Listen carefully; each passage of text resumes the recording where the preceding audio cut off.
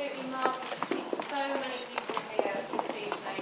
Um, we're delighted that you've all made what, for all of you, is a very big effort to get here this evening. I appreciate, we all appreciate, the whole team appreciate here, um, that you'll all have just finished your working day and you'll have to have traipsed across the great London network of uh, rail, tube, tram, however it be, to get here this evening. But you're very, very welcome. Um, we're delighted you're here. Um, we're also delighted that Dr. Marianne Coleman is here um, to offer our keynote lecture this term. Um, and by way of an introduction, Dr. Coleman, I'm going to hand over to Professor Esler, um, who some of you may have met, um, or you may not have done as yet. Um, but Professor Esler is here not least to hear more of Dr. Coleman's lecture, but is here to introduce. Thank you. Thank you, Joan. Well, good evening, everyone. First of all, let's see where you all come from. Staff, hands up. Okay, that's the Department of Education. There's a few over here that are slated. Okay, who, who's in the MA in leading innovation and change? Okay, that's the majority. PE, few, any others?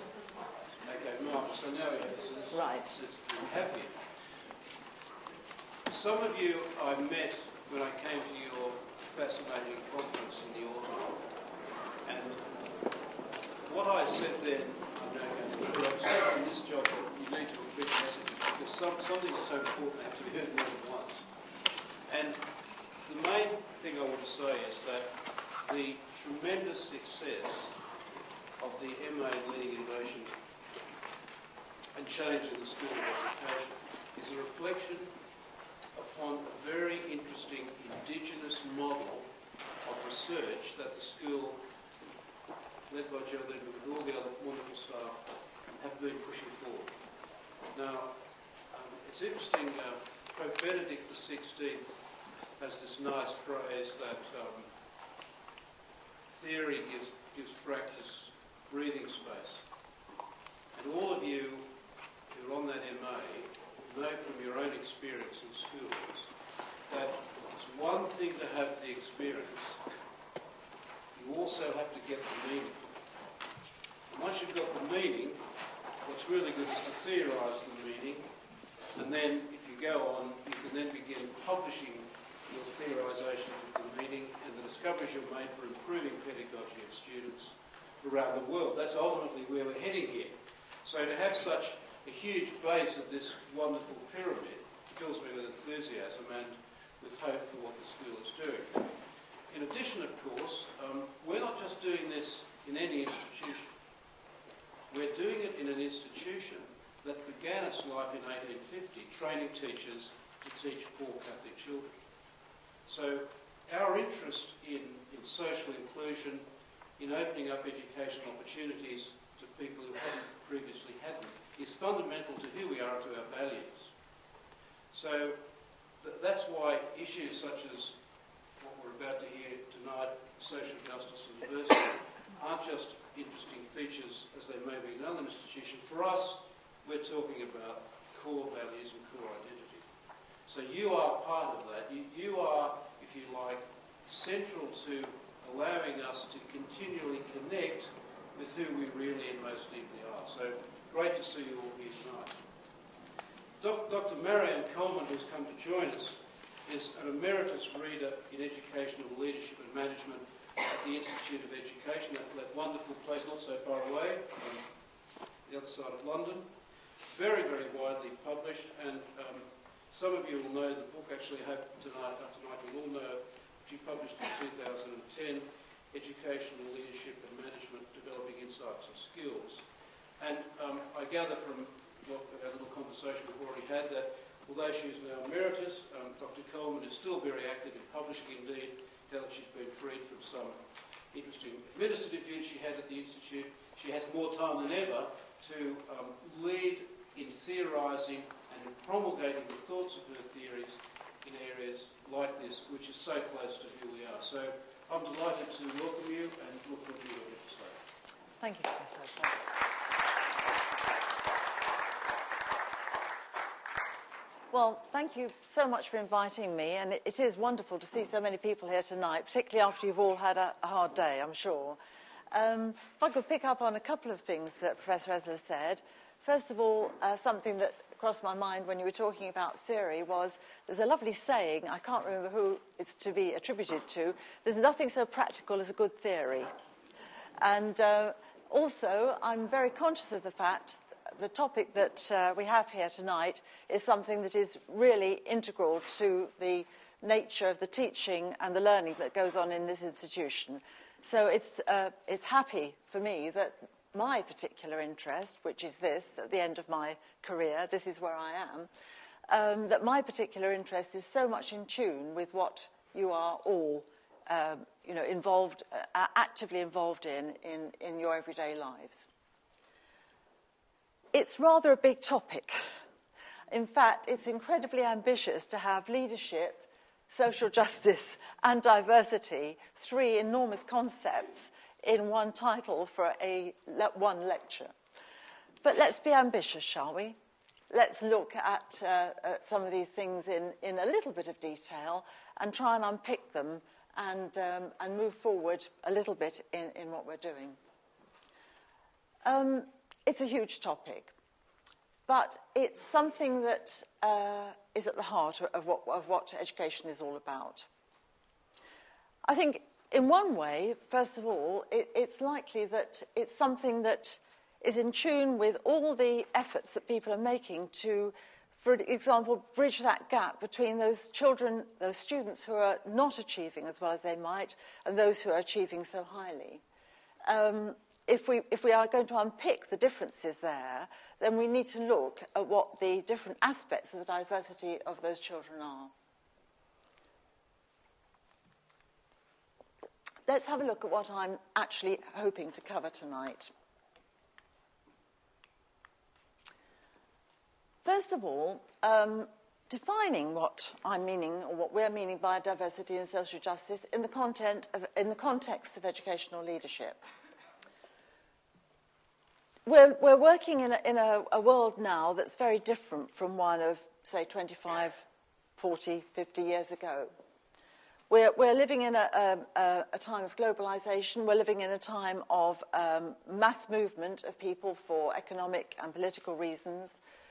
Um, we're no longer, particularly in London, this is very true, isn't it, that ethnically there is a huge diversity in London schools. Less so perhaps in other areas of the country, but it's particularly so that we have great ethnic differences, huge mixes in, our, in all our schools. What are some of the benefits and challenges of leading for diversity and social justice? Well, we need to think and unpick that because we can talk in um, general terms about uh, what is morally right, um, so what is, what is uh, effective, but what, what are we actually going to be facing if we are actually putting leading for diversity and social justice at the heart of what we do. It won't surprise you to see that I want to look at the implications of these concepts of diversity and social justice for educational leadership theory. And I know all of you will be, to some extent, familiar with some of the theories that there are. But theory and practice go hand in hand and I'm actually a fairly practical person, although I've spent quite a lot of time looking and working with theories. I don't want a theory to exist in the ether. I want it to be capable of being applied to everyday life. So I want to look tonight at some of the ways in which diversity and social justice can affect educational leadership practice. And then finally, something which I've been very interested in over the last five or six years what, in, more than that actually, longer than that, uh, what is the implications, or what are the implications of diversity and social justice for the choice and preparation of our educational leaders? Now, all those things I want to try and unpick a bit. Also, one of the things about diversity in education is when you, when you find it's being written about, um, it's usually to do with the classroom we're usually looking at what's happening with children, students, young people, as they're being taught in the classroom. very few people actually in England, in the UK, are looking at the impact on staff.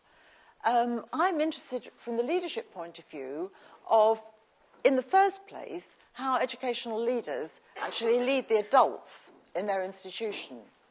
Now, obviously, that's not divorced from the students.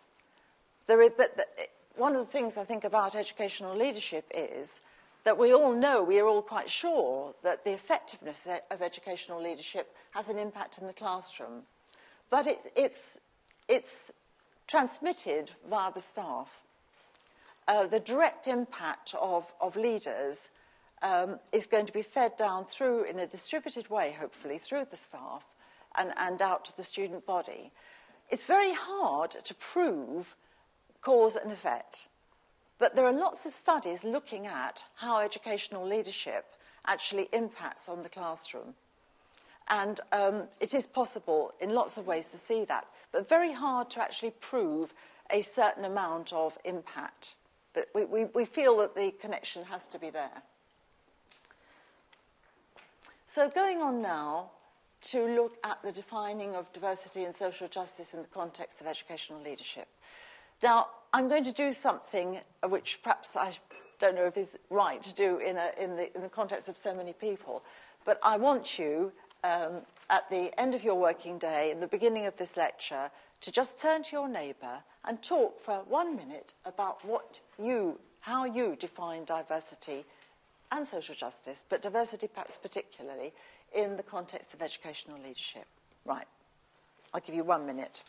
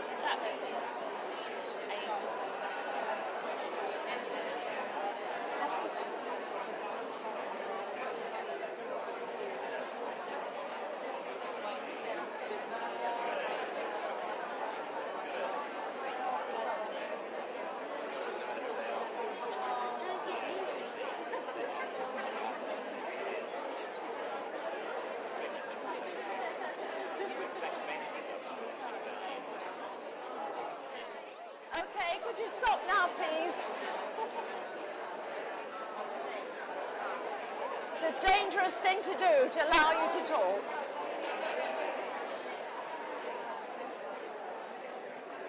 Now, I'm not, um, I'm not going to ask for feedback at this stage because at the end of the lecture this evening, I'll offer the opportunity for questions and discussion amongst us as a whole. So that's just given us nice time to get the last few people into the room, and I'm sure it's given you an opportunity to begin to think in your own way about diversity and social justice. Nothing like a bit of reflection, is there? Nothing like a bit of application of, of theory to your own circumstances. That's what the MA is all about, isn't it? It's about actually um, enlightening your practice through the theories that you learn and allowing your knowledge through your practice to feed back into the theoretical work. And that's what happens in the process of the research that we all do. So I'm not going to ask for feedback about what you've just said, but I'll give you, hopefully, some of the things that you might have said. Um, well, I don't mean what the government means by diversity. When, you talk, when the government is talking about um, diversity in education, they're talking about often a diversity of provision of schools. That's not what I'm here about tonight.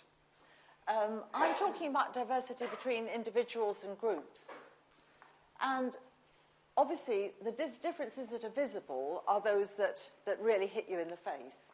And um, from my point of view, the research that I've done over the last 15, 20 years, my own research, I've been involved in a lot of, of, of research projects uh, of a sort of general nature, but my particular interest has really always centred on difference. Um, I think from an early age, I've always been very conscious of class differences. But uh, when I started work in educational leadership and management, I was asked, um, somebody reminded me here of a book that was written in the early 1990s called Principles of Educational Management. And I wrote several chapters in that book, uh, one of which was about women in educational management. And uh, I was asked to write that.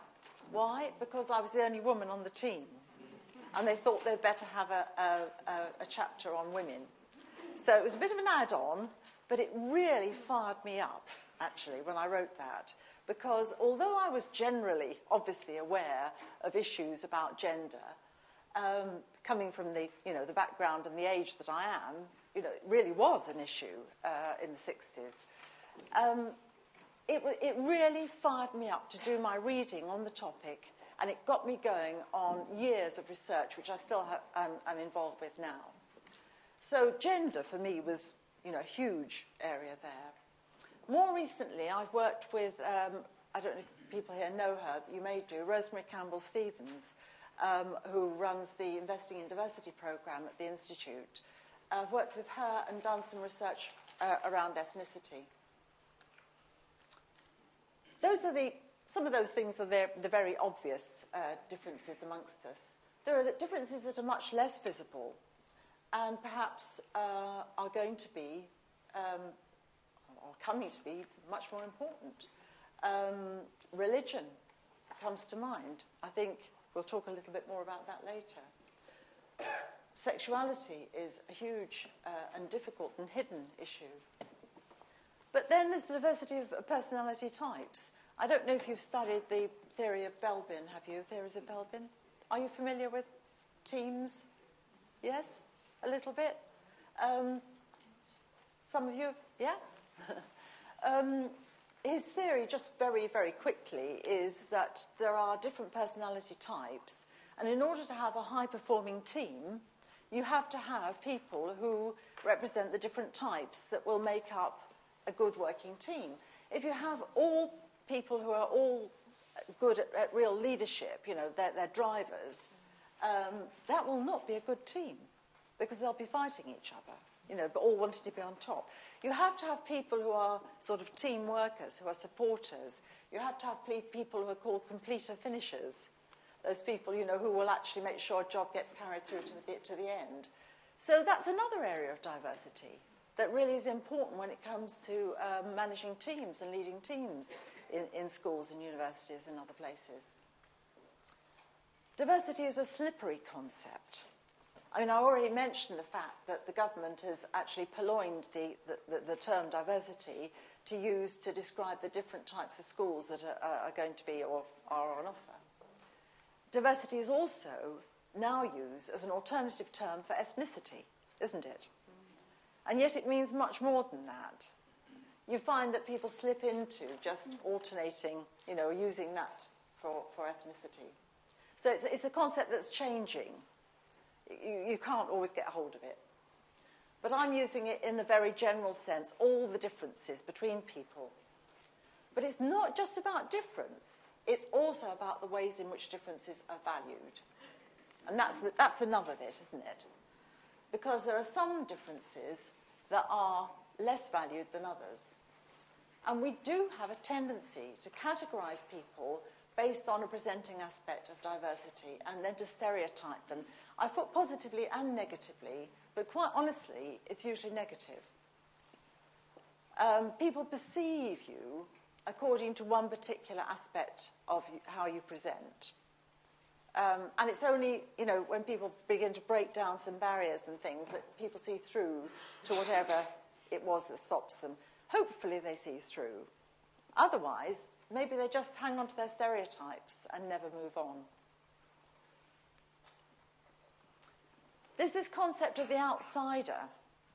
Now, I think um, women I've seen uh, as outsiders in lots of circumstances. Less so now, things are improving. Um, but there are still areas, for example, outside education in the City of London, in the financial institutions, women are still seen as outsiders. Um, issues about being an insider and an outsider.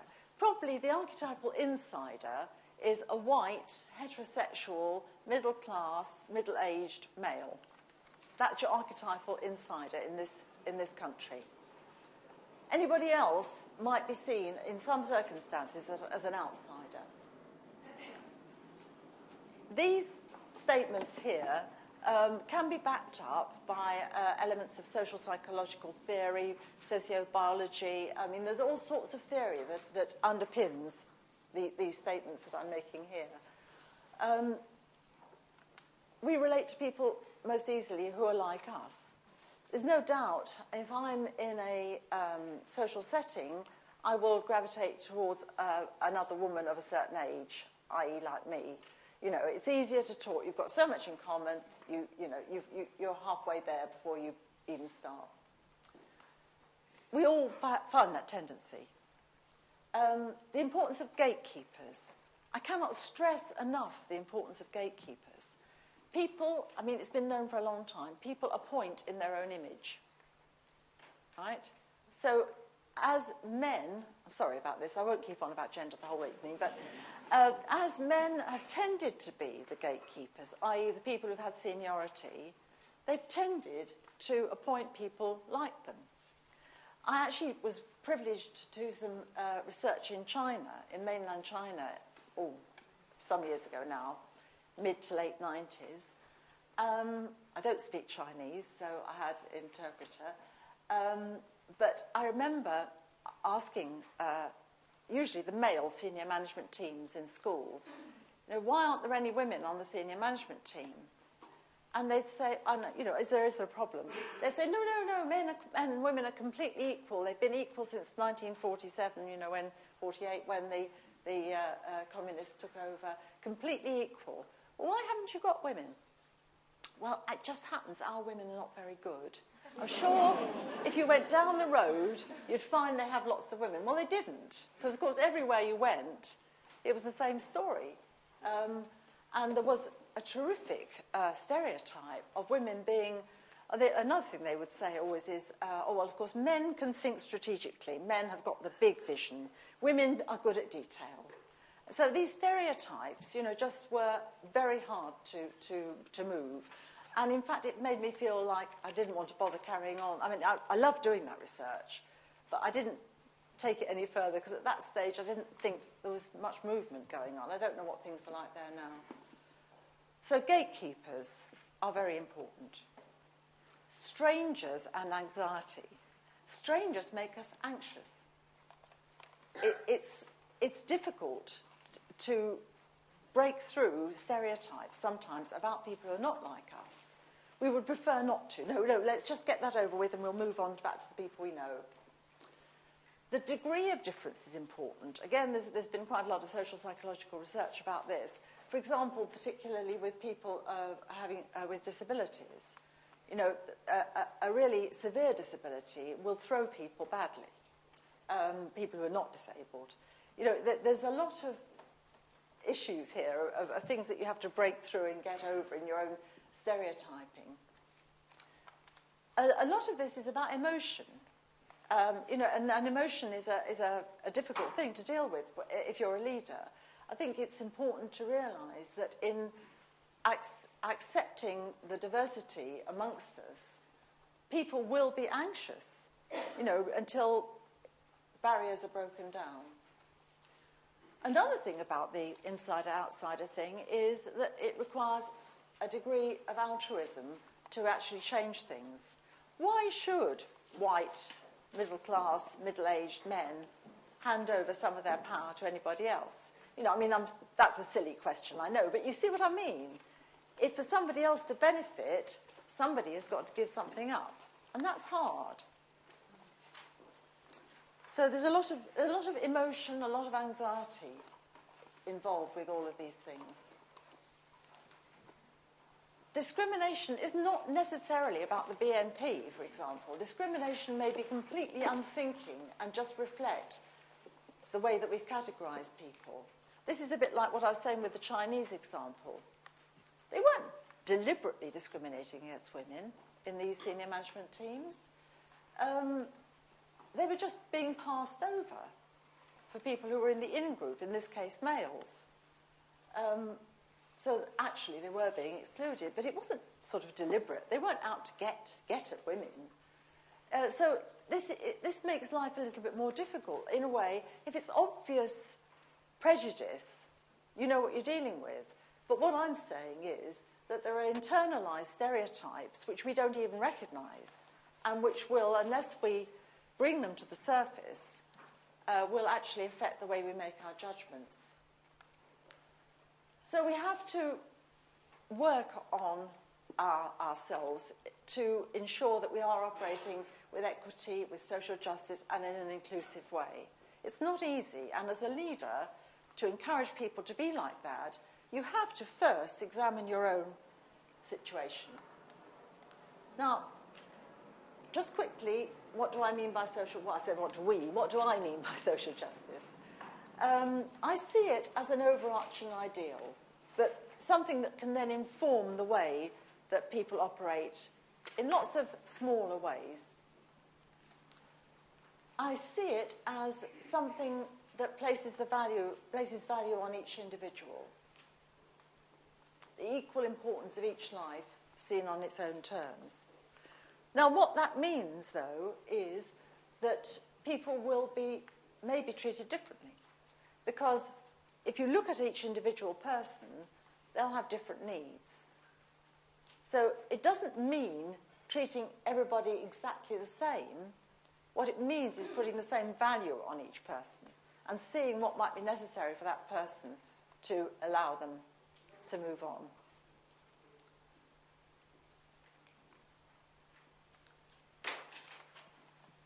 I thought this was a particularly um, appropriate list of sort of characteristics of, of educational leaders who are moving uh, towards social justice. I think the first one is particularly important here because I think working uh, for equity and social justice, working for diversity within social justice, you have to be aware of the broader context outside the school or outside the institution in which you work. You certainly have to take a critical approach. You have to be thinking all the time about not just accepting what is fed to you, but actually thinking through it and, and, um, and, and critiquing it. There is a commitment to democratic principles within the institution. Now, this obviously will go right through the place. I don't think you can say, I, I talked about staff and, and students, but the same spirit imbues both, doesn't it? I don't think you'd expect to have uh, a situation where, uh, for example, there was a very collegial atmosphere amongst staff and a very autocratic, uh, traditional way of teaching from the front in the classroom. I mean, the, the, you know, the, the, the, way in which staff operate, the way in which they are um, treated, is going to presumably feed through into a more personalised approach within the classroom. A moral obligation to have a narrative of hope regarding education, so expectations. And this determination to move from rhetoric to activism. So it means action. Working for social equity, for justice in diversity means actually doing something, not just saying it, but actually acting out what, in, in small ways, what you actually believe in, having integrity.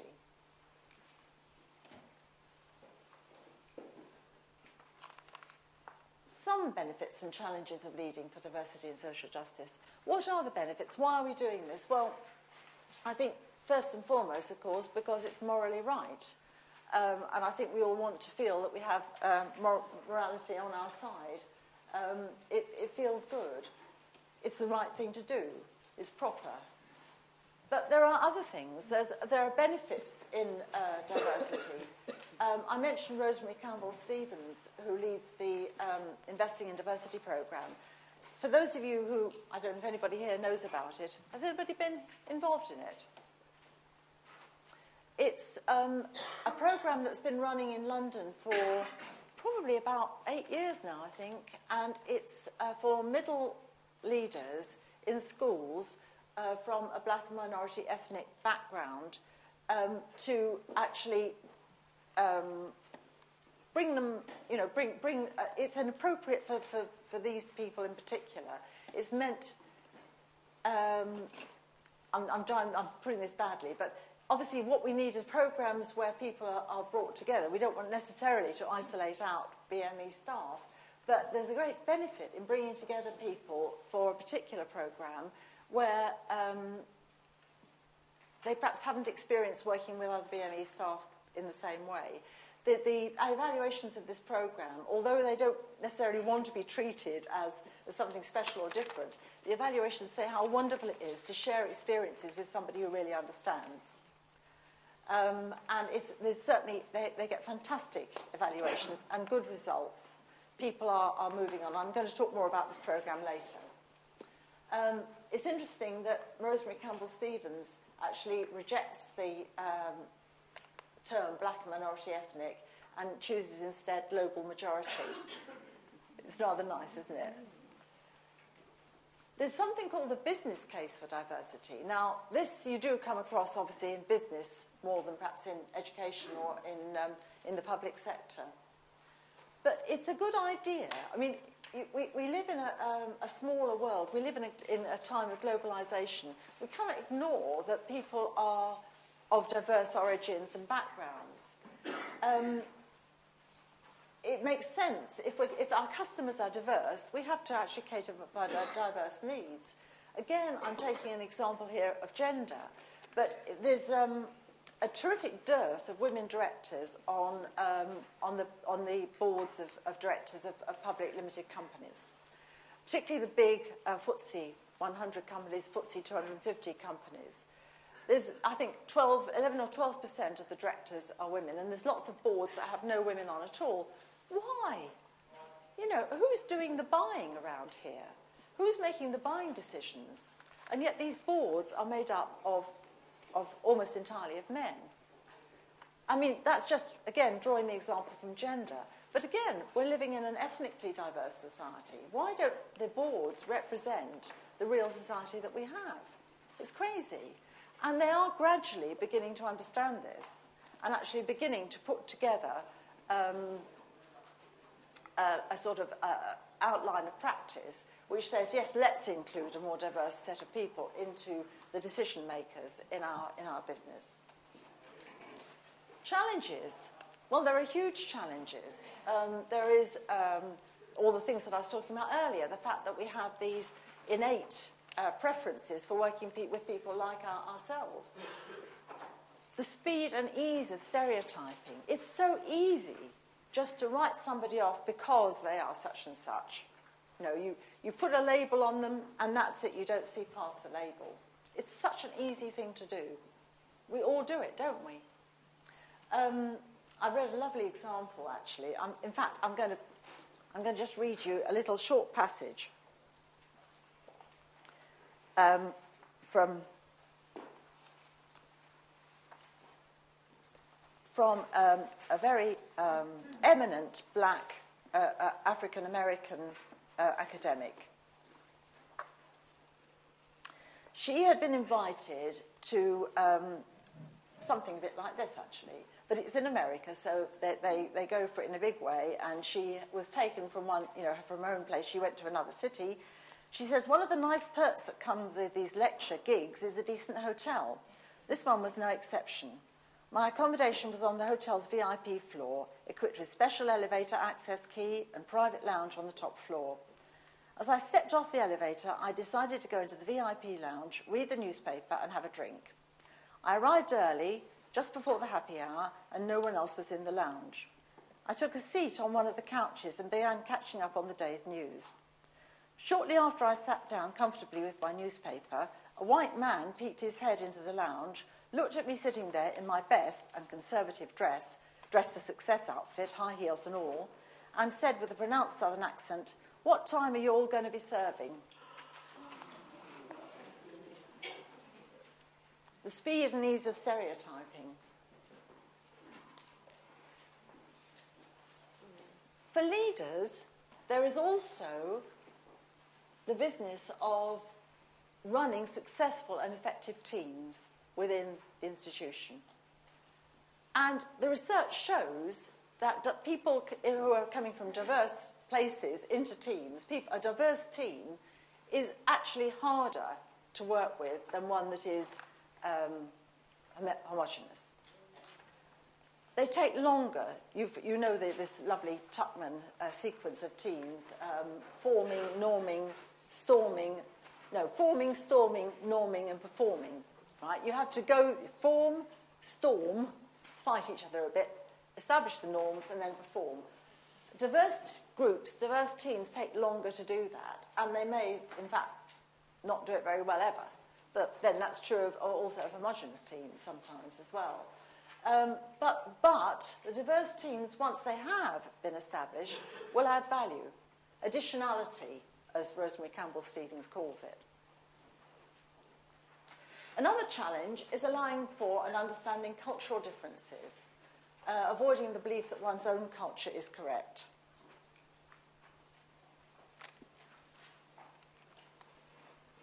Now, cross cultural theory.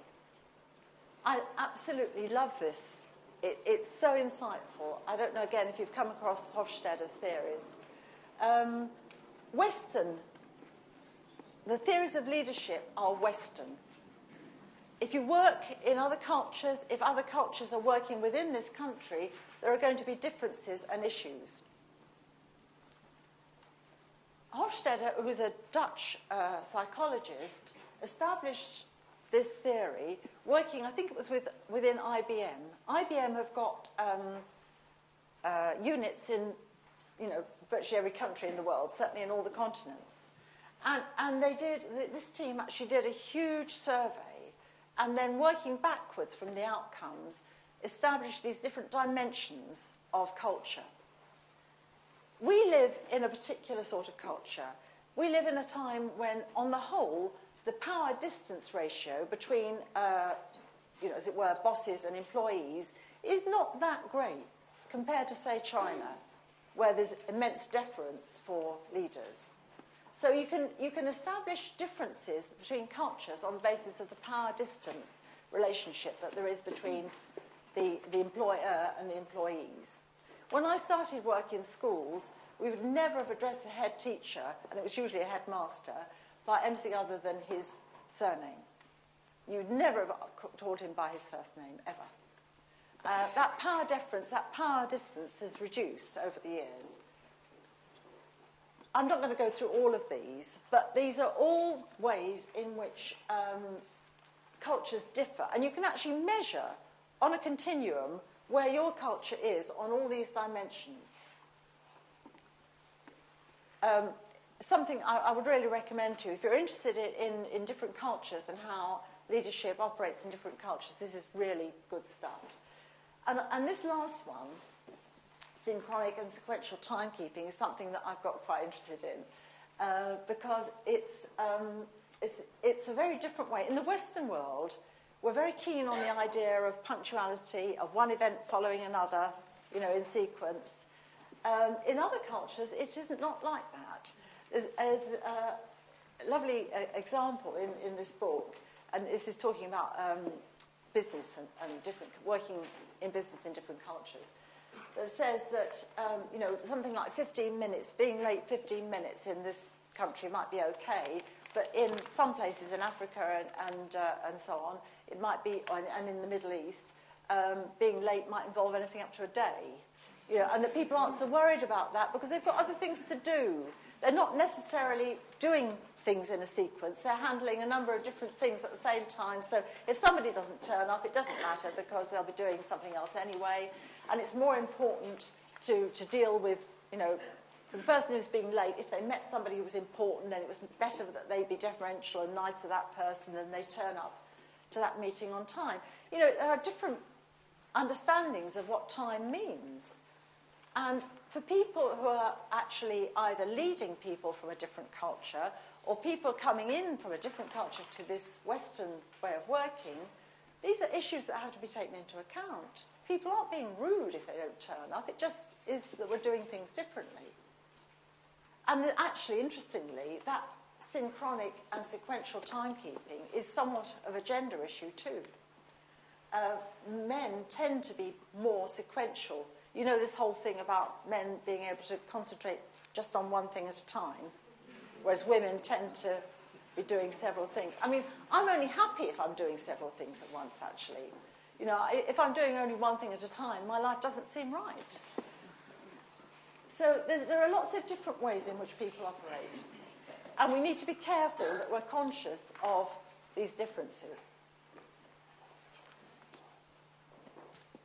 Leadership theories. Now, you've all studied leadership theories.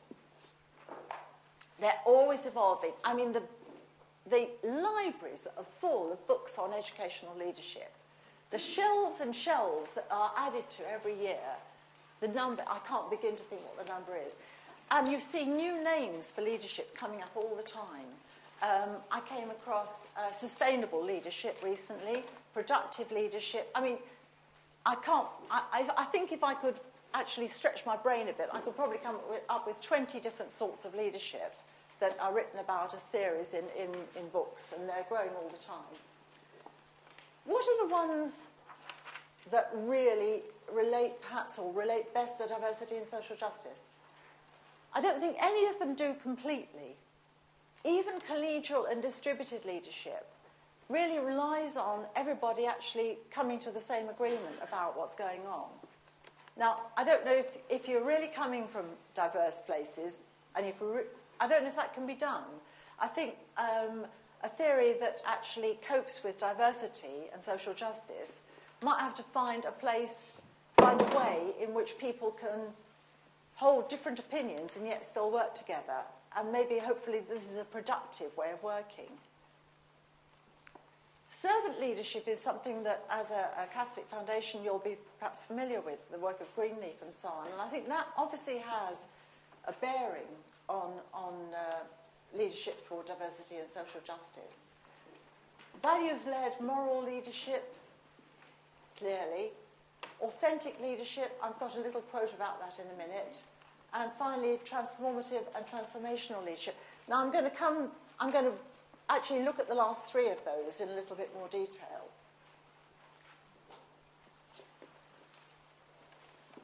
This is a, a, a salutary phrase, isn't it? Or a sal- salutary sentence. Values is not a technical term. We're, we're, we're talking about something that is the experience of everyone. And what's important is to revisit, examine, and articulate those values. Now, I don't know whether you do that in your school. I don't know whether you actually talk about the values that you share. Hopefully, you do. And hopefully, that's something that you revisit at different times. If we had a bit more time, I would stop here and ask you to actually examine your values.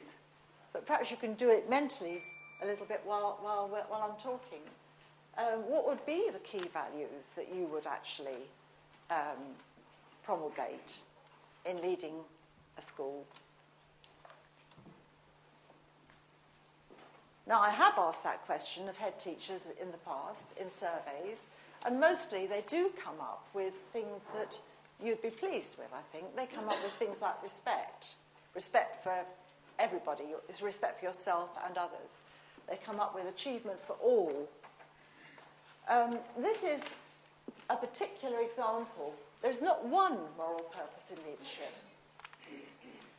I've quoted Rosemary Campbell Stephens several times this evening. But here is her statement of her moral purpose, coming from, she is an ex head teacher, coming from a particular place. What I'm talking about is a moral purpose that meets the needs and aspirations of those who've traditionally been failed by the education system. I think the way you judge which kind of moral purpose underpins most systems is to view who benefits and who does not. What they choose to measure what they choose to reward and affirm, and what the outcomes are for the masses who go through that process. Which research is done, and when completed, acknowledged and informs practice. You know, there's so many choices there, aren't there, about ways of behaving as a leader. so many questions. Who benefits, who does not? Who, who's rewarded, who's affirmed? Authentic leadership is, I think, part of what I'm talking about in terms of leadership for diversity and social justice. It's spiritual, um, it's intrinsically ethical, it's understanding yourself and your values, but being sensible to the feelings, aspirations, and needs of others. Now, this concept, transformative, may be new to you. You'll have heard of transformational leadership and indeed transactional leadership, yes? Yeah. Transactional leadership is actually like an agreement between a leader and a follower. I will lead and I'll make sure you're all right. You will follow and do what I say, roughly speaking. That's a bit harsh, but there's a place for transactional leadership. Transformational leadership is more than that. It is about actually um, imbuing um, your whole leadership activity with um, understanding, um, inspiring others, moving them on. And there are these four I's that are identified with transformational leadership uh, in, that include inspiration, stimulation, and individual consideration. Transformative leadership is not talked about so much, although it was part of the original transactional, transformational um, dichotomy uh, that Burns first outlined in the 1970s. Um, transformative is about moving on in the way that I've been talking about earlier. Not just about private and individual achievement, but also looking out to the wider society. Um, I've got another quote here actually about transformative leadership. Transformative education at minimum will not necessarily change the wider societal patterns of poverty and power, but it will acknowledge their existence and effect on students and will therefore make policies in schools that redistribute, that redistribute resources to correct inequitable outcomes. Okay? So it, uh, it recognises the wider societal patterns of poverty and power and acknowledges their effect on students. And then moves to redistribute resources to correct inequitable outcomes. This, uh, this is from Carolyn Shields, who's an excellent theorist and practitioner. She goes on to say, This is not as easy as it sounds, even with strong commitment and moral courage. So I think that's. Uh, it's about recognizing the impact of the outside world on the students within your school and doing something about it. Right. Looking now a little bit more at leadership practice. I think one of the first things about leadership for diversity is, as I've already mentioned, to examine your own conscience in a way, to examine your own thoughts. And this is a difficult thing to do. To pick yourself up and be somebody else, just for a little while. It's a wonderful thing to do, actually, if you can. If you can see things from another point of view entirely, it can revolutionize things for you. And this quote is about that. Although we know that one pair of glasses does not fit us all, as a culture we're expected to use a common lens to view our world. And this lens is ground in the framework of the dominant culture. As a result, we come to know our world through images that reflect the deeply embedded values and beliefs derived from a dominant culture of white, middle class, heterosexual males. Other perspectives which do not reflect the norms and standards of this dominant culture become blurred or rendered invisible. So it's about finding another lens. It's about critical consciousness, reflection, and mindfulness. I love this, this quote. This is from an Australian um, in service uh, course. Um, the pre-service students had little awareness of their own subject, subject positioning in relation to ethnicity. They understood ethnic as a label for others, but not themselves. For example, Jodie, a white Australian, says in response to a question about how she understands her ethnicity, I'd always assumed that I had none. Uh, Australia is an extraordinarily diverse, ethnically diverse country. But to think that uh, uh, this, this girl from a, a white uh, Anglo-Saxon background just thinks she's, that she doesn't have ethnicity. I mean, just think about picking her up and making her see that she does. Critical race theory. Have you come across this? Um, it's uh, something that originated in, in the States, actually with, um, within legal studies in the States. And um, it, it actually echoes what Jodie was saying. Uh, it's, um, the, um, it's there, the understanding that white people appear to be exempt from racial designation and racism in normal Western societies. Um, it's about turning that on its head and, and recognizing that white is also an ethnic description. Um, it's also about recognizing racism. Um, Richard Delgado was the first actual, I think, proponent of critical race theory. He's a lawyer, black, a very eminent black African American lawyer. And he, just to give you an example, he, he's now refusing to go and do speeches in schools and universities because he says that he can't honestly be a role model to black African American students because their chances from an inner city school of making it to the sort of position he's in are so remote that it's unfair for him to go and present himself as a role model. Now that's turning things on their heads a bit, isn't it? Because we would probably say, great, you know, have this bloke in to be a role model, show people what, he, what can be done. Yes, it can be done, but it's so rare that is it actually fair to present him as a role model?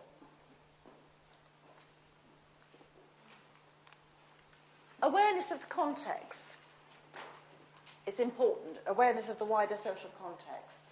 I just took these quotes from um, the Equality and Human Rights Commission report about power in, in the UK, uh, because it, it's, uh, it's quite um, good illustration. The snail's progress. The snail could crawl the entire length of the Great Wall of China in 212 years, just slightly longer than the 200 years it will take for women to be equally represented in Parliament at the, at the current rate of increase. Um, and it'll be 73 years for women to achieve an equal number of female directors at FTSE 100 companies at the current rate of increase. People often say there's no issue for women anymore, gender issues are over. And I do think, actually, in London schools, um, to a large extent, things have improved so much. I think, yes, I can see why people might say that. But if you look at the wider context, the issues are still there. If you look at, for example, the numbers of um, women who are secondary head teachers in London, they're, they're about equal. It's about 50 50. In fact, there may even be slightly more women secondary heads in London than, than men. But if you go outside, the further you go out of London, the less there are. So if you go to North Yorkshire, there's like 20%. If you go to Scotland and Wales, there's even less. So, you know, there are issues about London that are very different from, from other parts of the country. Now, I'm actually, I think, running out of time. So I'm just going to summarise some of the last things that I've, i want to say. We're talking here about the uh, practice of educational leaders working towards social justice and diversity. And three of the most important things for leadership are culture, structure, and power. And all those things need to be employed if you are working as a leader towards uh, justice and diversity. The culture, sharing of values, establishing a common vision. It's not easily done, but there are ways of doing it. You know, just talking about values, having um, inset days where you're talking about important, deeply held, underpinning beliefs. Um, it works well to, to make that a, a feature of, of, uh, of inset. Structures. Now, structures are a bit dull, but actually they're very important. Uh, this is a statement from uh, a, a, leader in a, a, university who I interviewed fairly recently. And she just came out with this. This was verbatim. Um, we concentrate on diversity. There's training and induction that includes awareness of family responsibilities and religious differences. They monitor the statistics for different sorts of diversity. They look at, they have targets, uh, they look at the advertisements and interviews and other types of assessment to make sure they're fair. Uh, flexible employment policy, a special initiative to encourage women. Um, all these things, uh, structures are in place, policies are in place. Power. You'll have come across these ideas about micropolitics, um, you know, power in the small arena. Why not use the, the, your micro, micro political skills for, uh, to achieve your ends? People working outside the school, uh, leaders, educational leaders working on committees that actually um, cover the whole area, extending your influence, getting to know people, um, all those things that are micro political skills can be harnessed and used for uh, working towards diversity and social justice. Professional development uh, is part of perhaps the establishment of the culture. So moving away from these three things of culture, structure and power, professional development has a special place. It can be of a different sort, many, many different sorts of professional development. I've just identified a couple of things there. Um, a whole school approach. I've said including governors. Governors are gatekeepers. Do you remember what I said about gatekeepers? Governors are often pinpointed as being uh, a bit of a barrier in making um, more diverse appointments. This course, Investing in Diversity, uh, I will just take the time to look at that uh, quote. This particular course, which is aimed at BME middle management middle leadership staff.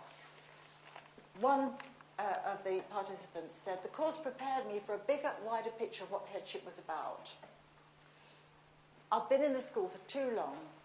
I decided I did have the skill sets and understanding. The course demystified what headship was about.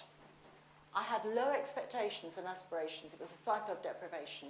How could I possibly achieve a headship? It's the messages you acquire, they're subtle, both from the outside community and your own. Courses and networking achieve, uh, uh, opportunities. This is um, some work I did fairly recently with um, uh, networks. Um, and there was one, i have looked at a number of networks, but one was of head women head teachers, one was of women in um, higher education management there are benefits sometimes in actually mixing with people like yourself and, and being able to exchange experiences and then coming out, you know, and, and being fitter to cope with the hurly-burly of everyday life. Like going into a warm bath. I don't know, maybe you don't see that as being a good thing, but it was so easy and comfortable and helpful to talk with, with, uh, with women who, who were like themselves.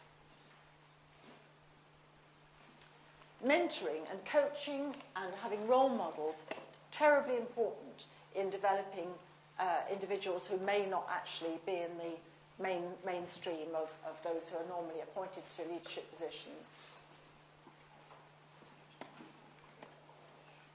Now, this is just the final bit I wanted to say.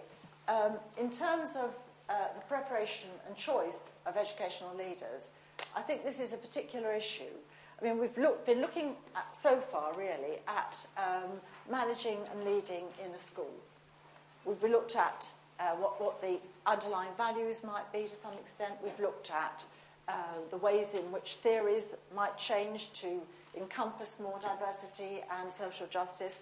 We've looked at briefly at some of the practices that educational leaders might actually take up in order to move towards justice and diversity.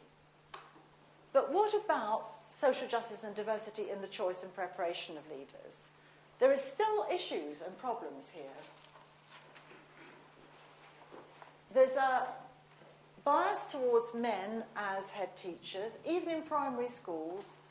Although 13% of primary teachers are men, 30% of primary head teachers are men. I've come across a lot of, of primary heads um, and others talking about how the governors like to have a man in place. I mean, there are, there are still issues here. the actual statistics for black and minority ethnic head teachers don't exist, but I did a national survey in 2005 where 96% of the heads, and this was, you know, right across the board, identified themselves as white, and in the same survey, only 1% stated that they were disabled, and in most cases that was deafness, um, I think one was a wheelchair user. So, you know, 16% of vice chancellors are women. I think 18% of professors are women. Um, there are still issues here in the UK context. Um, what are the obstacles? I think I picked out the governors. I might be being a bit mean, but they do tend to come up quite a lot, actually. Um, they should be forward thinking. Um, this is a little bit like that quote I put up earlier about discrimination.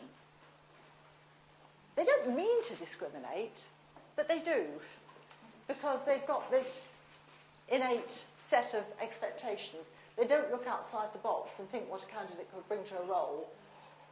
The, the educational world is conservative and traditional. In crucial areas like appointments, they still tend to play it safe. And in this last quote as well, um, Asian women tend to step back. This is a woman, head teacher. She says she's aware, both working with uh, her governors and with external agencies, that there are cultural assumptions made about her. Um, Asian women tend to step back. This can be interpreted as a lack of competence by men in particular. I'm not happy about the national leadership programs and what they do in terms of preparation for issues to do with diversity and social justice. Um, I don't think that they're doing what we've been talking about tonight at all. I actually was asked to do a, a, a, gender audit of Leading from the Middle. This was a few years ago. And uh, these are um, a slight adaptation of the recommendations I made, because I was actually only asked about gender, but I did look at ethnicity as well. And I made these recommendations to a room full of people at NCSL who all went away and promptly forgot about them.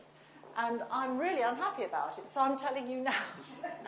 Um, these are not very difficult, these things that I'm suggesting, uh, to ensure that the coaches and tutors represent the diversity of the population of the course, provide some training for the tutors, giving them permission to raise equity issues. At the moment, it's up to the people on the course whether they do that or not.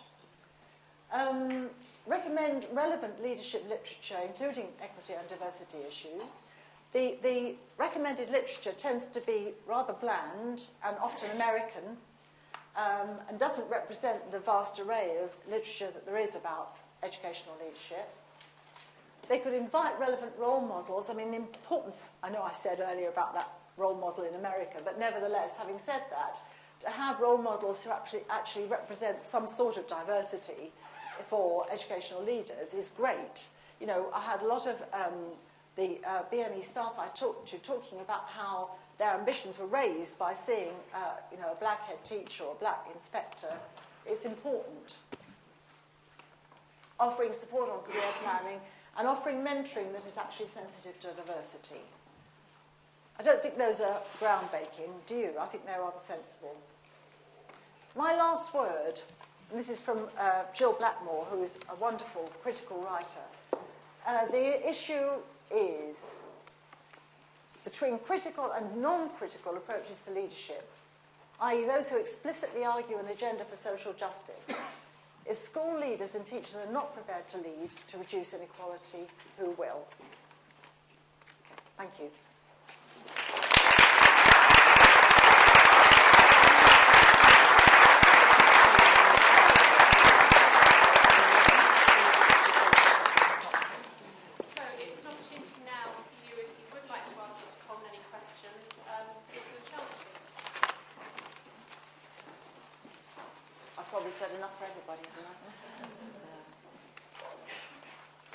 Yes. Yes, well, it was about the, uh, the ratio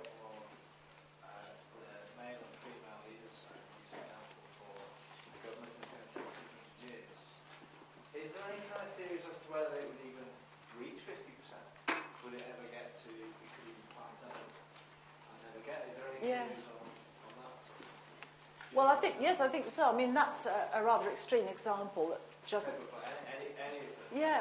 You would get I, I don't. I mean, who knows? Um, I mean, there are some. There are some theorists who who claim that, and I'm I'm not one of these, by the way, at all.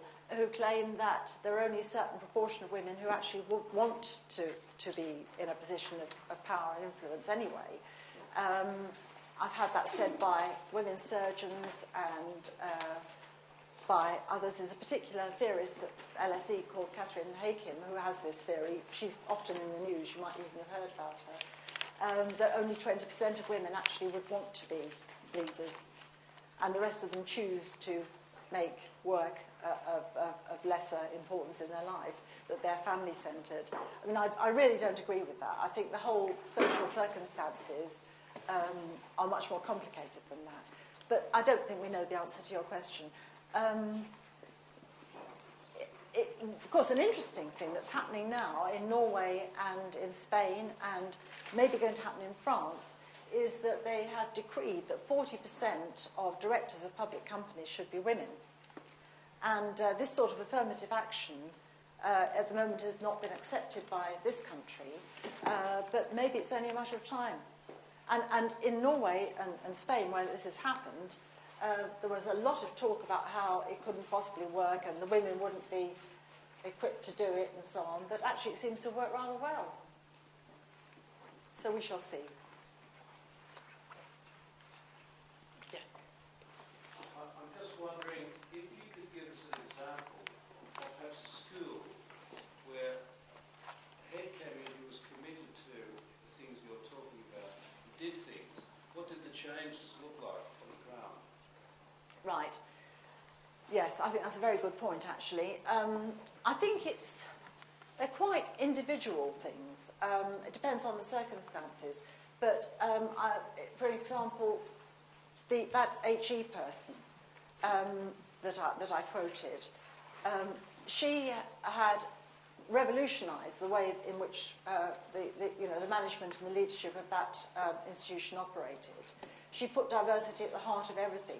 There's something called mainstreaming, uh, which you could apply to diversity or to gender, for example, or ethnicity, which is every single decision you ever make about absolutely anything in your institution, you actually interrogate through diversity, for diversity or gender or whatever it is. So it's at the heart of everything that you do. Every decision you make, you think, how does that impact? So it could be about uh, the curriculum, it could be about the school, the way that the, the money might be going to be spent on uh, refurbishment in the school. It could be uh, about um, governor training.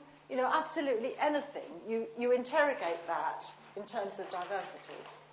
Um, so it's going to depend on the individual circumstances in a particular school. Um, I was just reading actually a, a, an article, that I think, um, about this, and it was an example in, I think, in Canada. Um, I mean, I don't think that necessarily this would come up, but where, in this country, where uh, one of the head teachers had actually uh, stood up against homophobic um, talk in a governor's meeting. You know, quite casual, but actually had made a, the, the head teacher had made a stand against something that was a throwaway remark, but actually was quite insulting. So it could be something as, as, as you know, a one-off small as that, but um, I think it, it can come into absolutely every aspect of what's done. Does that, was that good enough? yes. Hi, how's diversity been affected by the internet and social networks and that kind of thing? Sorry, could you say that again? Sorry, how has diversity been affected by social networks and the internet? Right. Yeah. It's been affected adversely or positively? Uh, by social networks, do you mean the, the sort of online stuff, or do you, yeah? I, honestly, I don't honestly know the answer to that question. Um, I think um, I think networking, generally speaking, um, is, is actually very important. And I mean, I, I, I don't know if there's been very much research done on online networking. Uh, there, there have been from the point of view of, of media specialists who are interested in just, you know, the impact of it generally, but not specifically from point of view you're talking about. But I think networking that I've investigated, which is much more about um, networking for uh, personal support and business connections or you know useful work connections. I think two sorts of networks work well. I think the um, the network that's quite specialised for for you, whether it's specialised by gender or specialised by occupation or whatever, can be very good about being supportive because you're talking to people who are like yourself, and it, it really does help to you know clarify some of the issues that you thought might be only personal to you. But you also want the mixed, much more broader networks to make, uh, to get new knowledge. You don't want to just always be talking to the same people because you don't actually extend your contacts or your knowledge. You also need a, a wider network. So I was looking at gender networks and, and really did come to the conclusion that a, supportive network of women only can be very good for some purposes, as indeed presumably could a supportive network of men. But these women also needed for their, for their work um, to development and uh, to help what was going on in their work, they needed a much wider network too. Well, both, yeah. Uh, you mentioned that um, in, in London that, that there's greater gender equality in terms of education and leadership. Mm. What would you put that down to? Well, it's been put down to a number of things. Um, one of them is, maybe this is too, going back too far now, but one of them was the ILEA, uh, which actually was very progressive in working on, on gender issues all those years ago and actually laid a sort of bedrock. Now, presumably most of the people who work for the ILEA are now on their way out or have already gone, but the, um, you know, the, the heritage might remain. I think the other thing is it's just more urbane, you know, more sophisticated um, that, and, and more diverse. Uh, it seems very much the case that, um, you know, on the, on the whole, gender equity, I don't know what your experience is, but there's much more gender equity and, and not sure about ethnicity equity in London and also Birmingham as the other big metropolitan area. The, the further you go outside of those areas, the more old-fashioned conservative and traditional people tend to be. I'm generalising, obviously. It's interesting, though.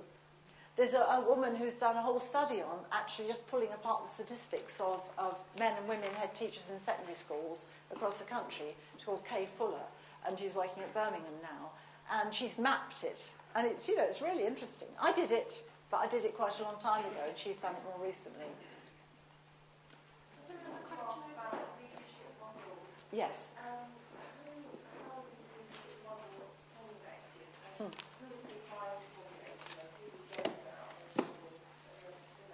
Gosh, that's an interesting question. Um, I suppose that they're theorised by. I think originally they probably arise from social psychology. Um, most of the, uh, you know, the sort of um, early theories about leadership were, were actually conducted uh, within American industry and usually on male subjects. Uh, so there's a whole thing there about unpicking what, whether, whether or not how true these leadership uh, uh, models really are if you move them from America, and it was done often in the 1940s and 50s and 60s. So we're talking about 50 years ago. We're talking about another culture. We're talking about um, what usually only males, because actually quite a lot of those theories were even done in the in the army, it, it, uh, done from you know, models in the army. How appropriate are those models for us here today? Which is, I suppose, one reason for actually trying to work out some new models. And I suppose the people who are now uh, putting forward new models are people a bit like me, really, who ju- and interestingly, Carolyn Shields, whose work I've quoted here, and other people, have done what they call backward mapping. So they've done a big study, a qualitative study of in-depth interviews with, say, head teachers, and identified those who are very socially conscious and, and uh, you know, looking for equity, and then actually um, mapped back on what they do, the actual practices they carry out in their schools, to develop what they see then as a model. So, you know, there are ways and ways of doing these things. Just um, thank you, that's identity.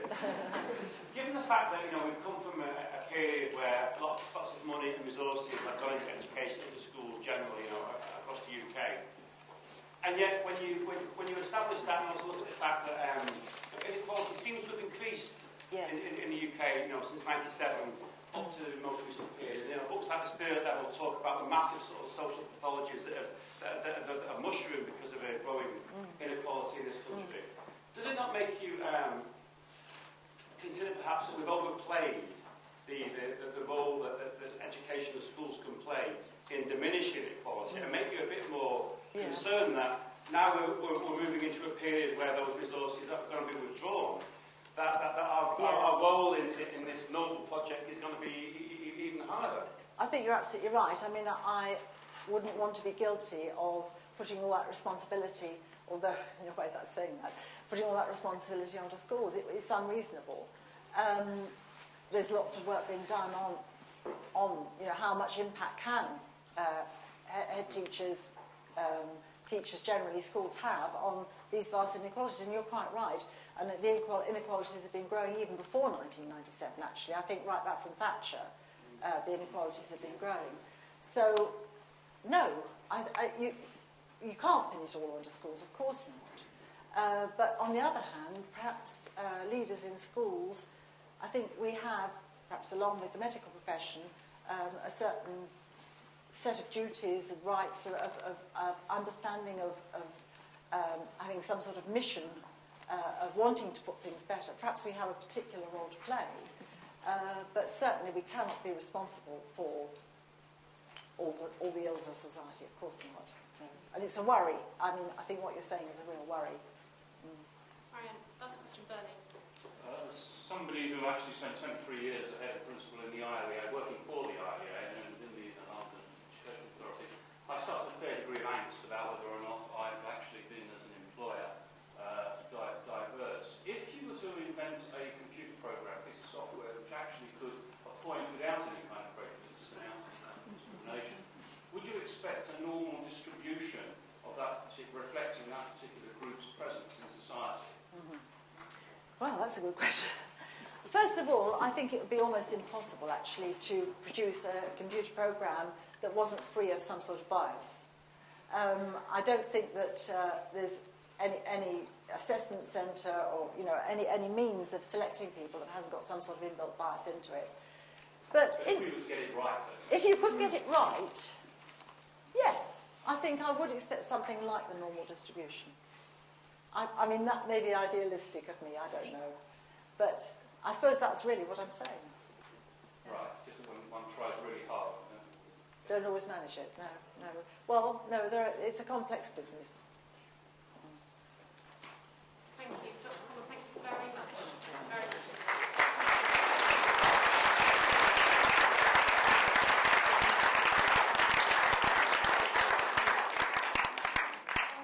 Dr. Coleman did share with us a couple of articles which will have been, hopefully will have been sent or in the process of being sent um, from tutors, one on gender issues and one on black minority, minority ethnic groups in terms of leadership. But I think uh, maybe just in summary, Dr. Coleman, what think and take away with us today is about our role in leadership and how we make decisions about the way in which we choose others, not only in terms of diversity, but the issue about social justice as well and what that truly means to us. We've all been through Module 1, we've all looked at our own educational values, and what do those values, where do they sit within the social justice and leadership that we take with you? So I thank you for raising that as an issue for us this, uh, for us this evening. Um, Michael Foucault, in his book Discipline and Punishment, the Birth of the Prison, wrote about the power of the norm. He wrote about normalisation, how big institutions aim to normalise and instill a homogenous view of people, whether they be young people, whether they be incarcerated people, whether they be in hospital. The institutional idea of normalisation, I think it's that which is challenged through our presentation today, about how do we lead full social justice through managing diversity and the way in which we lead. Um, a conversation which I had um, some, some months ago um, reading Crime and Punishment. I do read other things to do with penal reform in prison, um, was Dostoevsky, and, and he wrote um, that his mission was to find the human in the human being, and that very much resounds with what we've covered today about what it is, why we do it, and how we make sure that we take everybody with us on that journey of leadership. Uh, somewhat different to my own experience of growing up, which was Brian Clough way, my way, or no way. Um, and that brings us to thanks. I sat through the Brits last night, or the rerun of Brits last night, and the only thing that I could really take from it was I really like CeeLo Green and Paloma Faith, really like those two, and how not to go on when you're thanking people. So, thank you very much. So there's been a whole body of people behind today's um, presentation, but I think in addition to Professor Esler, your kind words of introduction, to the whole team who have put together this evening, um, we'd like to thank you once again for this. Thank you.